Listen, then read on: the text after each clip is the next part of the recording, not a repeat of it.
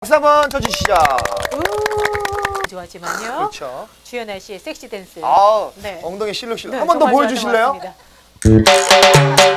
아우 이게. 배워야 돼요. 저는요 네. 이렇게 두 분 노래할 때 뒤에서 봤잖아요. 네. 네. 뒤태도 이뻐야 되겠다는 걸 느꼈는데 아, 네. 그렇죠. 정말 제가 노래할 때 민망스럽더라고요. 뒤에 있으니까 관객이. 아, 연습 많이 하셨죠? 아, 그럼 여기서 잠깐 네. 무용을 하셨으니까 네, 네. 한번 시범 한번 보여주시죠. 가능할까요? 이 무용이 어?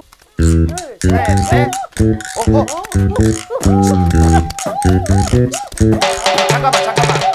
그거는 재즈 댄스가 아니라 막춤인데요. 아니 이 정도는 오케이 얘도 할 수 있어. 너 나와 봐봐. 얘도 아니. 할수 있다니까 이 정도는 봐봐봐. 얘 하는 그래요? 거 봐요.